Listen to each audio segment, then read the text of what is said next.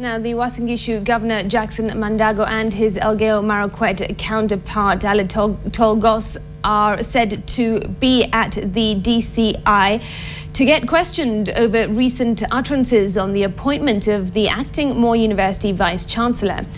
This coming a day after hundreds of their supporters took to the streets to protest over the Interior Cabinet Secretary Joseph Nkaissery's order to direct the National Cohesion and Integration Commission Chairman Francis Ole Kaparo to take action against them.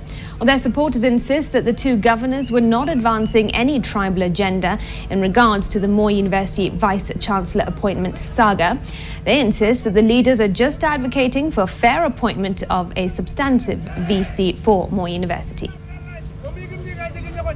Neno la kusema ati Mandako na wale viongozi wal- walisaidiana wanafanya mambo ya ukabila, tunasema kwa pamoja ni uongo.